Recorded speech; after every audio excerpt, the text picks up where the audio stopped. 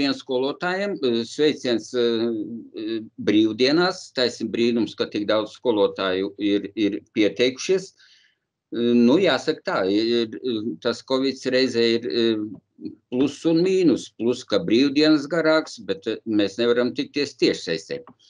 Sakarā ar tiem jautājumiem, kurus, nu, sakarā ar šīm prezentācijām, man liekas, ka svarīgākais, kas mums ir tagad, ir jāmaina domāšana. Un, un, un, un, un arī, zan, tā, arī zan, šeit izskanēja jautājumi par to, ka nav ekonomika vairs sociālajās zinībās, kā atsevišķi priekšmets nav. Bet arī tagad mums, man liekas, ka veidojot mācību procesu, ir bišķiņi sava domāšana jāmainās. Antreja atbildēja, ka galvenie sasniedzamie rezultāti, un tāpēc mums arī vispirms būtu jāskatās, kādi tad ir sasniedzamie rezultāti, konkrēti šeit no sociālām zinībām paņemts ir no vidusskolas posma. Tātad, piemēram, šeit jums šie sasniedzamie rezultāti optimālajiem līmenim, 2,5 analizē ekonomikas izaugsmes virzītāju spēkus, nākošie vērtē sabiedrības interešu individu un grupu vērtību atspoguļojumu. Nu, es teikšu tā, varas īstenošanā un attīstības virzienu redzējumā. Šodien varbūt šim aspektam pievērsīsim lielāku uzmanību.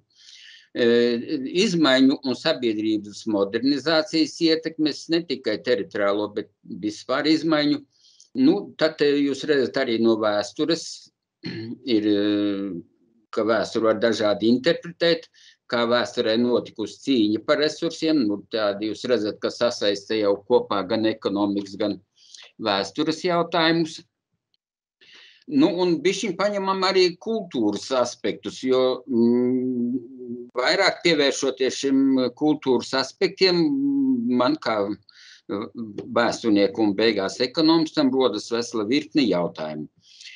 Protams, der ieskatīties arī programmā, jo programmā parādās dažādi, daži konkrētāki jautājumi, un, un, un kam pievērst uzmanību. Tā šeit, ja mēs runāsim, šodien izmantosim ASV pilsoņu kara piemēru, tad sapratīsim, ka būtībā šeit ir varas dalīšanas princips īstenots ļoti skaisti, un tās ir viens arī no programmā ieteiktajiem partiju darbības un, un partiju darbības saistība ar ideoloģiju.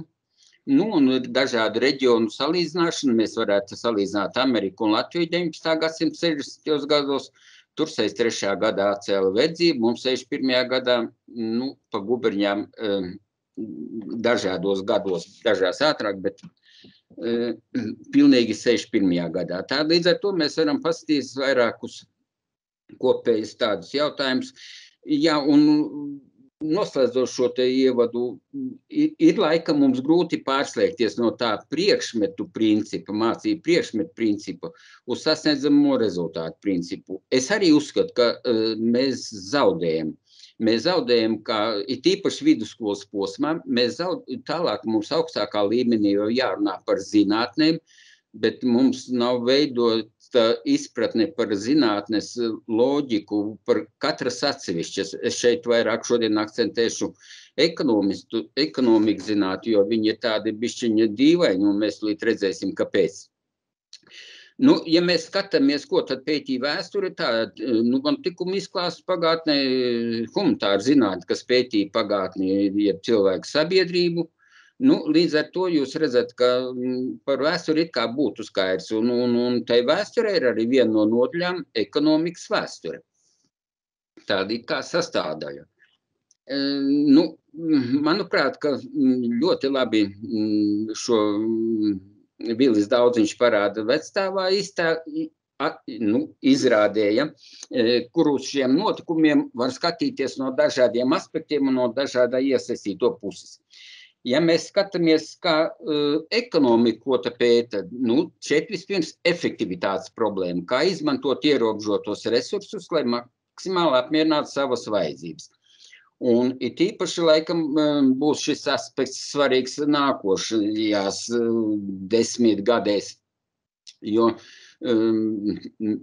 mēs, kurus sev varam pieskaitīt pie attīstītām valstīm, mūsu tā ekoloģiskā pēda ir krietni lielāka kā tiem sešiem miljardiem, kuriem, kuriem, kuriem nu, un ja mēs gribam, lai arī tās attīstības valstis dzīvotu puslīs labāk cilvēki, tad man liekas, ka mums ir būtiski jādomā, kā mēs patēriņa izmantojam, kā mēs patēriņu organizējam, kā mēs uh, uzskatām, kas ir labklājība, vai tā ir tikai vairāk, vairāk un, un, un nevis efektīvi un taupīgi izmantot esošos resursus.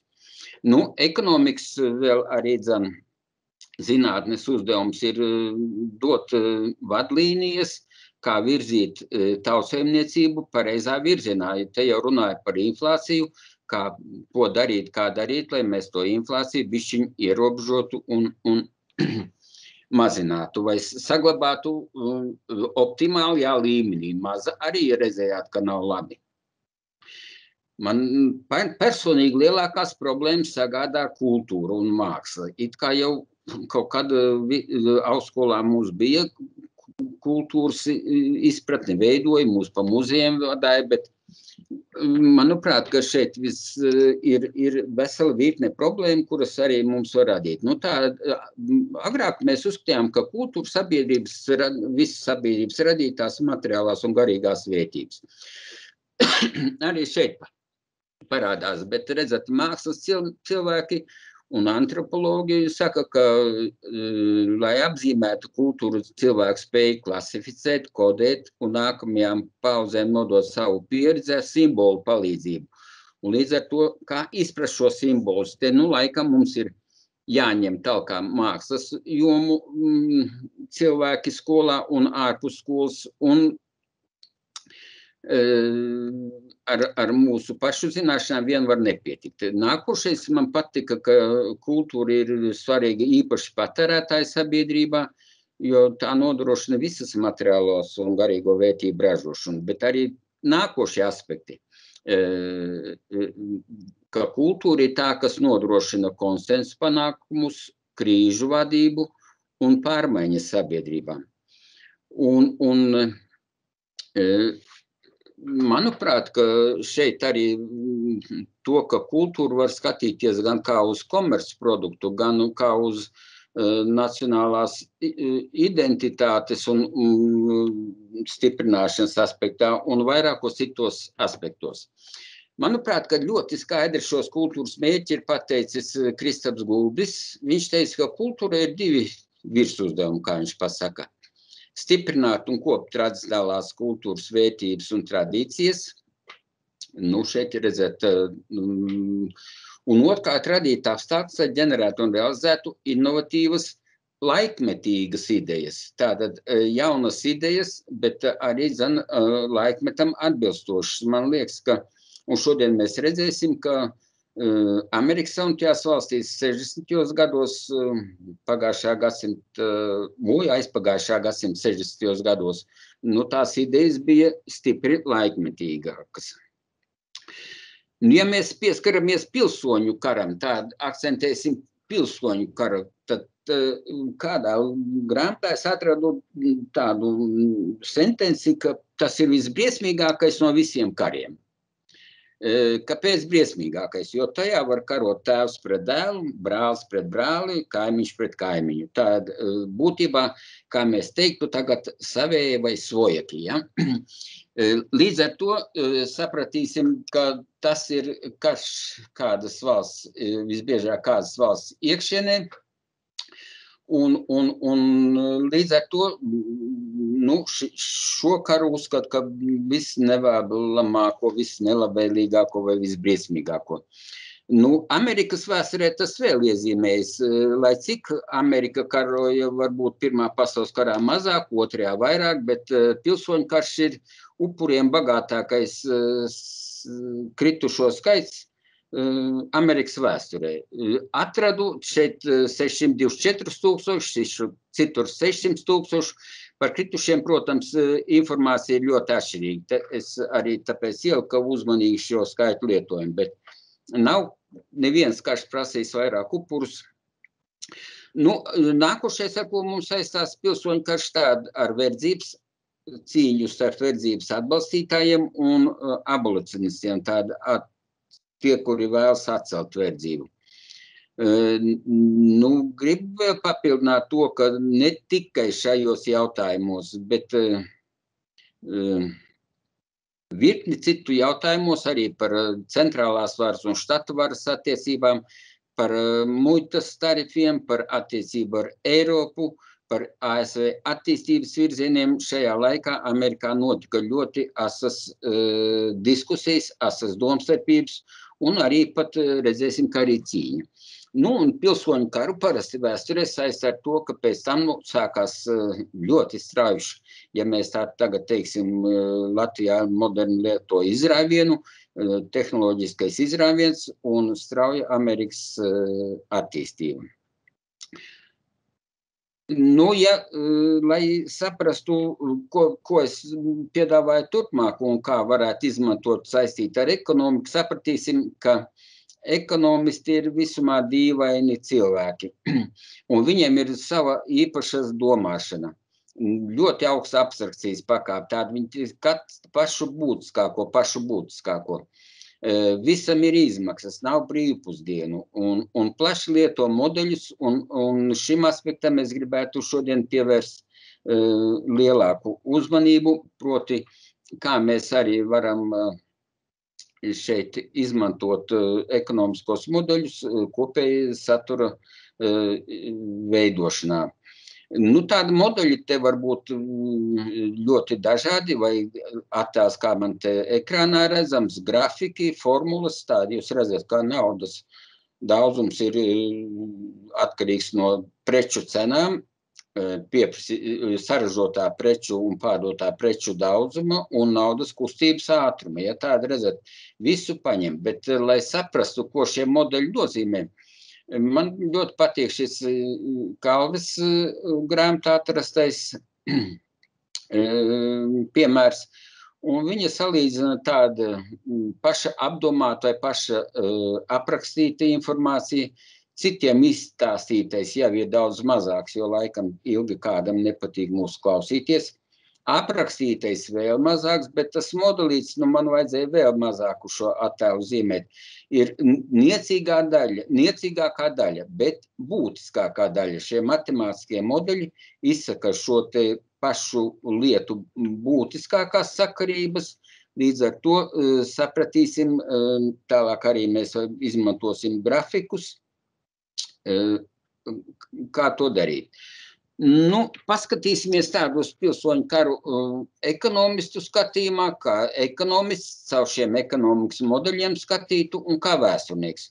Nu, vēsturnieks es arī paskatījos, ka 790. gadā te verdzība nu, tikai pašos Amerikas aus, nu, laikam Amerikai tie būs rietumi, bet skatoties šajā piekrastē, uh, Un, un, un jūs redzat, ka samērā zemes vergu koncentrācijas līmenis te tikai dažās vietās ap 50% vergu, puse iedzīvotāji ir vergi.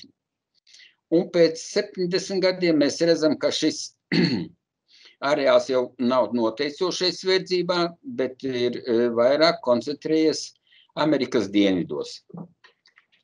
Līdz ar to eh, skaidrs, ka verdzība, eh, nu, man liekas, ka jau Romas vēsture pierādīja, ka saku, manā vērtējumā, nu, galīgs arhaisms. Jau Romas impērija pierādīja, ka um, un verdzību uzskatīja par vienu no Romas impērijas sakāves cēloņiem un, un norieta cēloņiem. Um, tur arī sāka dot zemi tā saucamiem koloniem, kuri daļu varēja izmantot savā labā produkcijas un, un saražotā, un daļu laikam bija jādod vēl tiem saimniekiem. Bet katrā gadījumā viņiem kaut kāds stimuls radās, lai attīstītu, palielinātu ražošanu. Nu, un, uh, protams, ka šāda uh, vergu darba izmantošana bija neefektīva. Un ekonomikā tāda ir modelis ražošanas iespēja robeža. Tā, tā parāda divu preču maksimālos ražošanas apjoms, ko varētu saražot, e, pilnīgi efektīvi izmantojot esošos resursus. Par resursiem parasti uzskata divus - darbu un kapitālu. nu, tātad e, mēs tagad paskatīsimies no darba. Nu, vergus izmantoja, tātad varētu ražot, piemēram, ja vergu darbs būtu efektīvs e, šādu ražošanas apjomu. Tas ir kaut kur 60 kapitāla preces un, un, un 40 e, kokvilnas vienības. E, saprotiet, šie rādītāji turpmākos grafikos mēs vispār ņemsim nos, tas tikai tādi cipari nevienmēr šeit ekonomiski svarīgi. Bergi ražoja šādu daudzumu. Tāda saražoja kaut kur 30 kokvilnas un kaut kur ap 50 kapitāla preču. Tāda ja šis punkts ieliks šeit, es neesmu speciāli pētījis, cik tur kokvilns un cik tur tā kapitāla preču ražošanu, bet ja punkts atrodas pa kreisi no ražošanas iespēja robežas, tad mēs varam uzskatīt, ka resursi tiek izmantoti neefektīvi, jo var, šajā situācijā var palielināt gan kokvilnas ražošanu, gan kapitāla preču, tādu mašīnu iekārtu ražošanu. Un var palielināt gan kokvilnas, gan uh, kapitāla preču ražošanu. Ja resursi tiek izmantot efektīvi, tad uh, mēs teiksim, kokvilnas ražošanu varētu palielināt tikai tad, tad atkal punkts pārvietotos par ražošanas iespēju robežu, un, un tad mums būtu jāsakās no kapitāla preču ražošanas. Tādi, ja mēs izglītībā šo efektivitāti un mācību procesā vajadzētu mums raksturot, tad es parasti izmantoju tādu piemēru.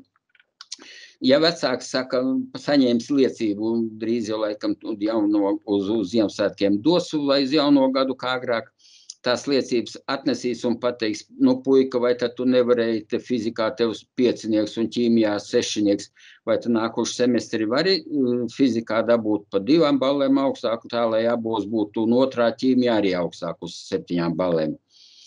Nu, ja puika saka, ka jā, tad mm, tēvam ir jāņem, kā agrāk ņēma mm, siks un jāslānī. Tagad tā laikam vairāk nevar, tagad jādomā modernākas pieejas.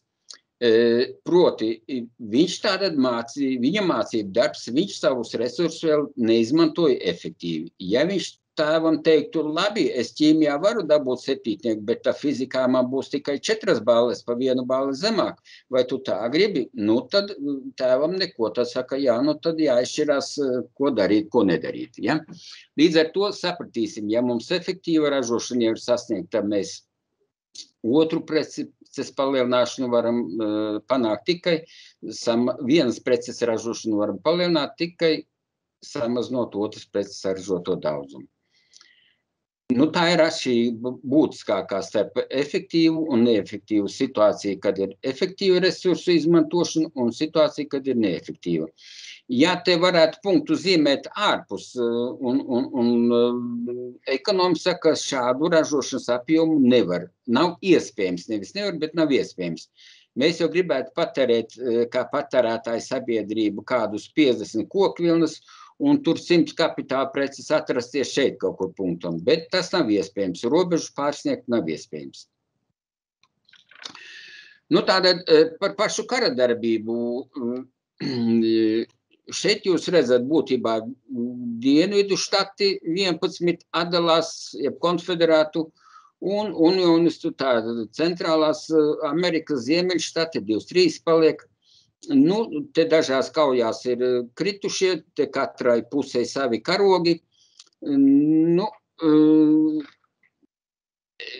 kara taktika mm, šeit negrib pakavēties būtībā sākumā dienvidnieki aplen ziemeļus un ziemeļniekiem klājas grūtāk. Vēlāk dienvidnieki, ap, nu, piedodiet, ziemeļnieki aplenks dienvidniekus. Nu, paskatīsimies, ko kā tad ekonomisti teiktu. Nu, pirmkārt, sākoties karam, pirms tam jau neizmantoja resursus efektīvi. Daļa cilvēku iesaistās kara darbībā, un viņi nevar tikt izmantoti. Līdz ar to mums resursu teiksim, ražošanā izmantojamo resursu daudzums samazinās. Ja?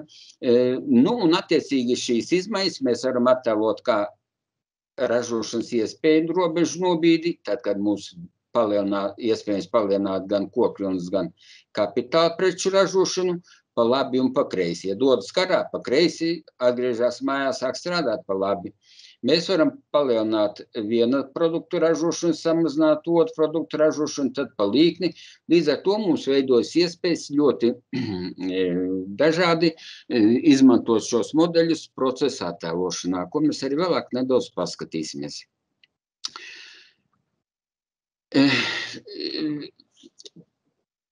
jebkuru faktiski vēstures materiālu, un, un it īpaši es saprotu, ka tagad uh, starp dienvidiem un ziemeļiem, kāpēc notika šis pasaules karš, mēs varam saistīt gan ar resursu pārdali.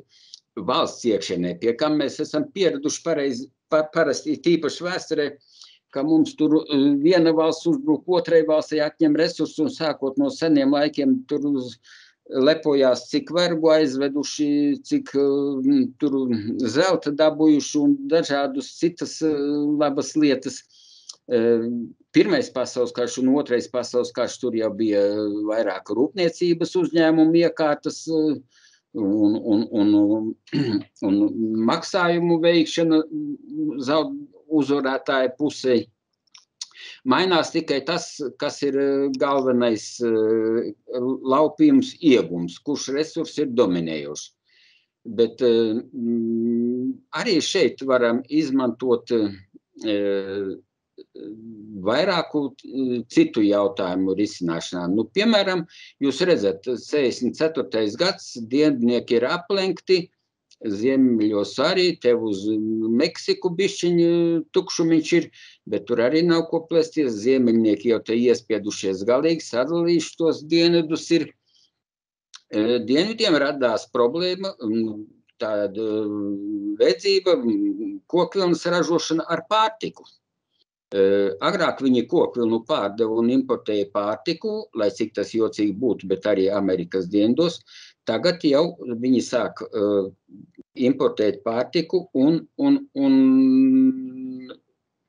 līdz ar to mums varam risināt jautājumu ekonomikā par alternatīvas izmaksām. No kā ir jāatsakās uh, dienvidniekiem, uh,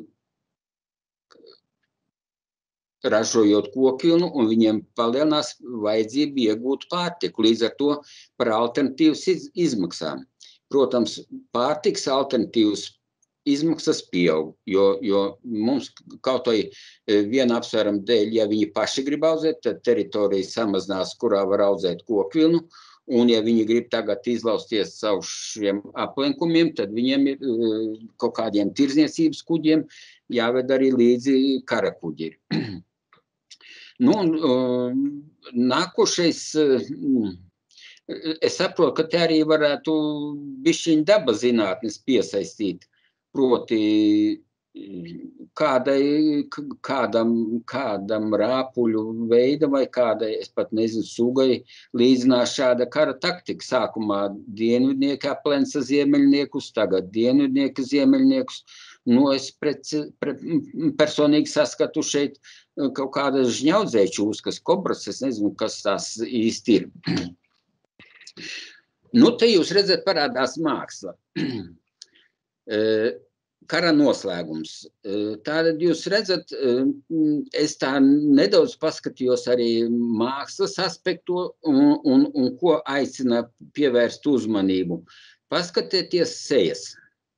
Tātad jūs redzat, ka te samērā norūpējušies, rakstīs vai nerakstīs, parakstīs vai neparakstīs to vienošanos Bet no otras puses, manuprāt, paskatieties arī tas, kurš paraksta šo kapitulāciju vai zaudējumu un, un samierināšanos.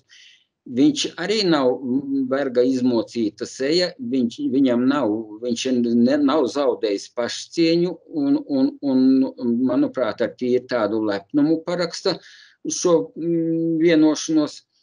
Un es arī gribētu pievērst jūsu uzmanību šai te jā, manuprāt, es nezinu, es vismaz kādreiz klausījos, mums bija arī jā, vēl 80. gados vai 70. gados, kad sāku strādāt par vēstures skolotāju.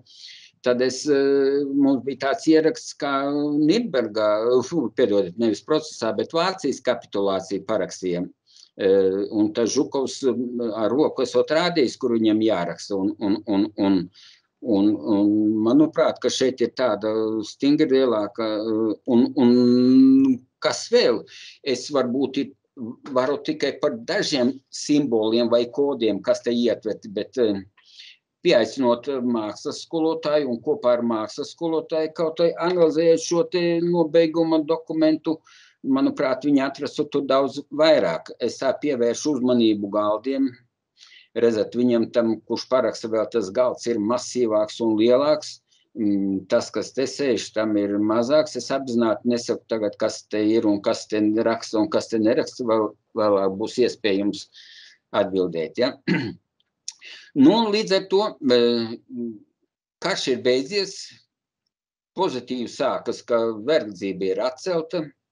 Amerikāņiem Homestead likums laikam pa gadu vēlāk pieņems, proti, ka amerikāņi var brīvi iegūt tur līdz laikam 60, cik 64 akriem vai hektāriem, man liekas, tas ir tuvu līdzīgi zemes.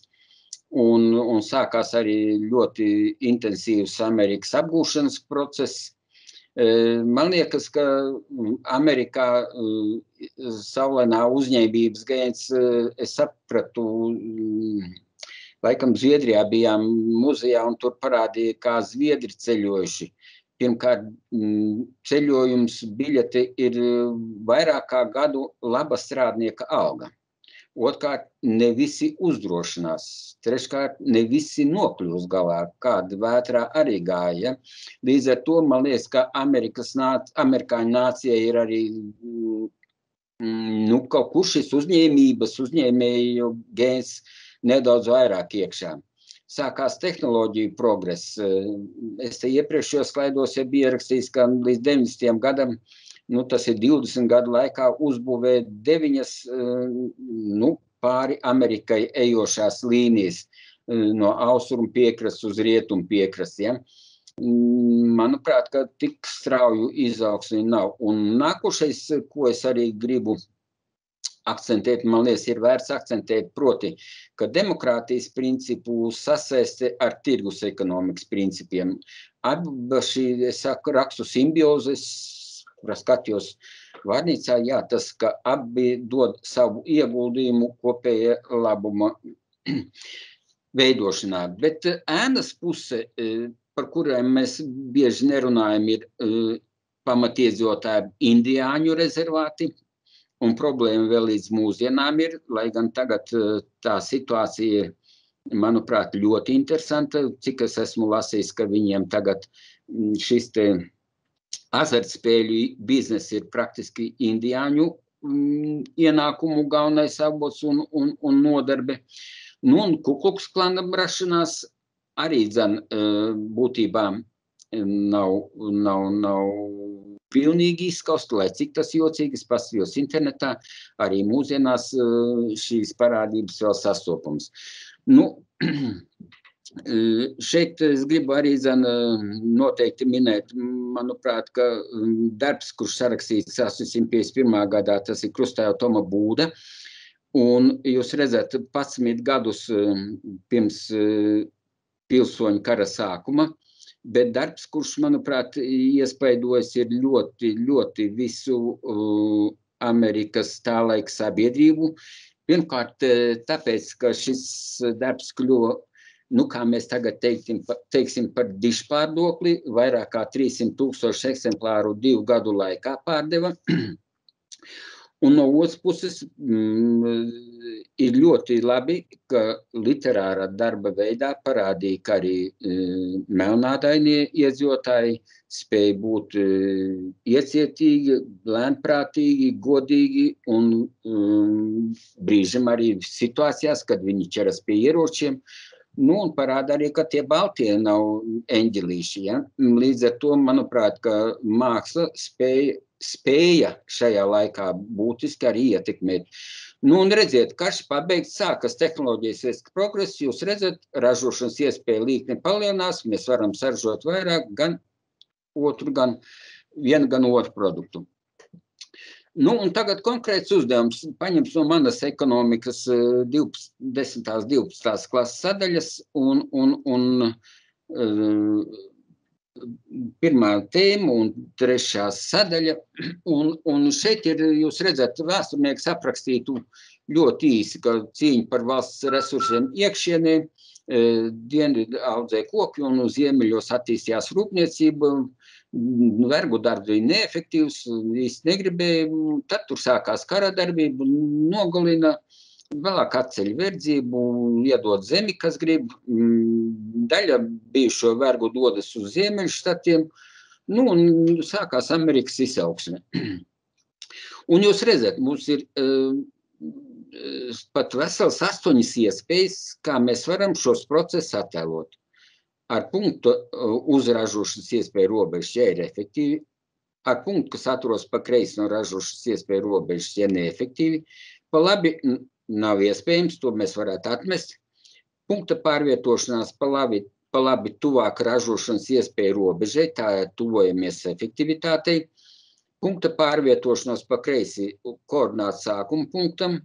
Nu, tātad ar punkta vēl neefektīvāka ražošana paliek. Pa ražošanas iespēju robežu ražošanas iespēju robežu nobīt pa kreisi, kur mēs paskatījāmies, un ražošanas iespēju nobīt pa labi.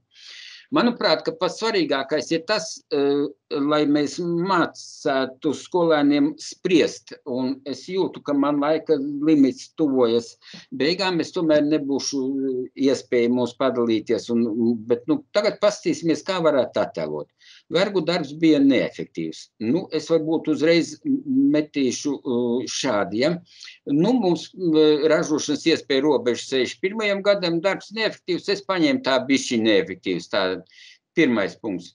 Nākošais daudzi dodas, bija jādodas vai devās. Atklāt sakot, kara laikā ir divi, gan devās karā, sākumā kā brīvprātīgie, ar 63. gadu es sapratu, ka sāka mobilizēt gan ziemeļnieki, gan dienvidnieki.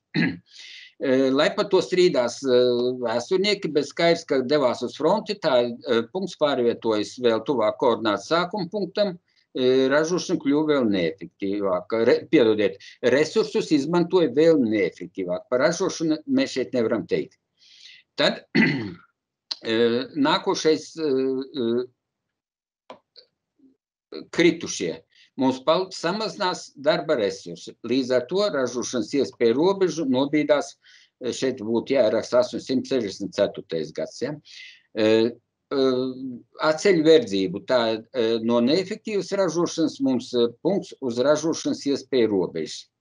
Tālāk dodas uz ziemeļiem dienvidnieku bijušie vergi. Tāda palielinās, ja agrāk šādi kapitāla preces ražoja, tad tagad palielinās kapitāla preču ražošanu un uh, samazinās kokvilnas varbūt ražošana.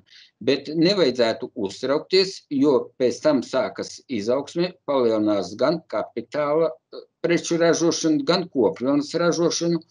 Un vēlāk jau kokvilnas ražošanu jūs redzat, uh, iesaistoties starptautiskajā tirdzniecībā, arī ražošanas iespēja pa labi, jo koku vilnu gan pērk ārzemēs, un um, iekārtas arī var pirkt ārzemēs.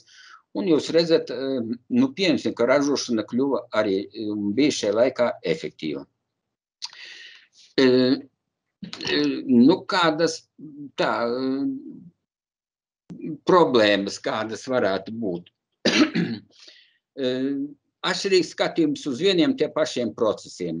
Tātad gan vēsturē, gan ekonomikā mēs uz vienu to pašu procesu varam pierādīt, ka tas ir mm, labs, un tikpat labi varam pierādīt, ka tas nav pārāk labs. E, vēstures e, ekonomikas, sociālo zinību integrēšanā problēma arī, ka katrā zinātnē ir sava domāšana. It kā jau būtu mūsu formālā loģika visur vienāda, bet jūs redzat, uh, Nu, vēsturē mazmodeļus, labi, tur laika līnija, kultūrā viņi vispār ar kaut kādām zīmēm vēl kodētu informāciju mums dod, kuru mēs nevaram izprast. Ekonomisti tad šajā sakarā būs kaut kur pa vidam. Manuprāt, ka problēmas ir saskaņošanas process, jo mm, pirmkārt visu to jādara ļoti straujā laikā. Rīga nav uzcelta vēl kopš līdz šamajam brīžam, lai gan viņu ceļ jau no vismaz no 1201. gada. Bet mums saka, ka skolotājiem vienam pašam jāizdara visās priekšmetos, jo tādu nopietnu mācību līdzekļu atbilstoši jaunai pieeja vēl nav. Līdz ar to mums arī vajadzētu saprast, ka tas ir process, kurā mums jāvirzās, bet mēs nevaram uh, vienā dienā gribēt. Uh, klasē ir gan uh, fiziķi, gan liriķi. Manuprāt, tas tā ir atkal vāja vieta, bet reizē arī iespēja. Liekam fiziķiem ar modeļiem strādāt, liriķiem ar um, literatūru, grāmatām un citām lietām. Ja? Uh, Nu, un kašīgā skolēni intereses un spējas un iespējas arī ir, manuprāt, arī gan problēma, gan iespēja. Nu, līdz ar to es redzu, ka, um, ja mēs gribam integrēt gan ekonomiku, gan vēsturi, tad mums bišķiņ jāie, um, nu, kā latviski saka, jāierubījas tās zinātnes um, metodēs un pro, pētījumu un datu izmantošanas veidos. Un, un, un vienam skolotājam tas ir diezgan grūti izdarāms. Es te iepriekšējā prezentācijā stāstīju par Ulmaņu laikiem. Tiklīdz es aizgāju pie literatūras skolotājas, man uzreiz apdeva ar literatūru pat ielika grāmatzīmīt, kur tas, ko es gribu parādīt, vislabāk attēlos un, uh, Un atklāt sakot, sadarbība bija. Nu, man vajadzēja laikam nevis datorā, bet iet pie, bet eh, pateicoties Covidam, es arī, protams, cenšos uh, ierobežot. Nu, un es nezinu, kā šodien, bet agrāk Antra deva balvas. Un, uh, man ir daži jautājumi, kurš pirmais atbildēs, tas arī tiks pie balvas. Es lūkšu, lai Antra seko, ja? cik zvaigžņu un svītru ASV karogā bija sākoties karam. Tur jūs redzējāt karoks, neskaitiet, tur ir plinte pāri, neredzēsit. Bet kurš atbildēs?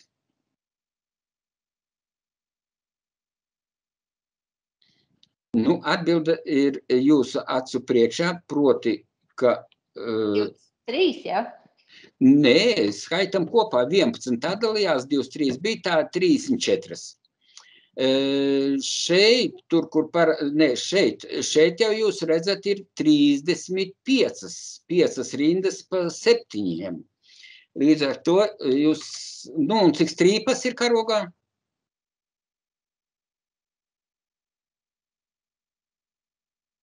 Nu, 13, tik cik štati sākumā vienojās. Ja? E, nākošais e, pie šī attēla, kurš ir, e, kur ir ziemeļnieki un kur ir dienvidnieki?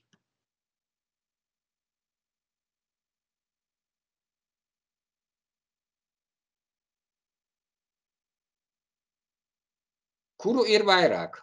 Vai uzvarētāji vai zaudētāji? Liekas, ka galīgi vienkārši. Redzat, te arī mākslinieks ir attēlojis kas ir šis onkulis un kas ir šis onkulis. Nu, tāda grants un lī, kas paraksta šos vienošanos. Ja? Līdz ar to es gribu teikt, ka šeit ir lielas iespējas. Nu, te var arī vēl citi jautājumi, kas būtībā vienu to pašu pārbaudīs. Ja? Un, un, un līdz ar to, ka mums ir diezgan daudzas iespējas, lai šo materiālu mēs arī zan, izmantotu. Tā, tagad, kā es tikai nenoslēdzu sevi pavisam nost. Nu, tā ir iespēja, tās ir šādi, te, jo redzat, ekonomisti jau viņi šādi domā tikai. Viņiem ienācija plus un, un tā tagad var redzēt. Un otrā mīnus, ja? lai gan tā nav, lai gan tā nav, bet tā daži mākslinieki domā.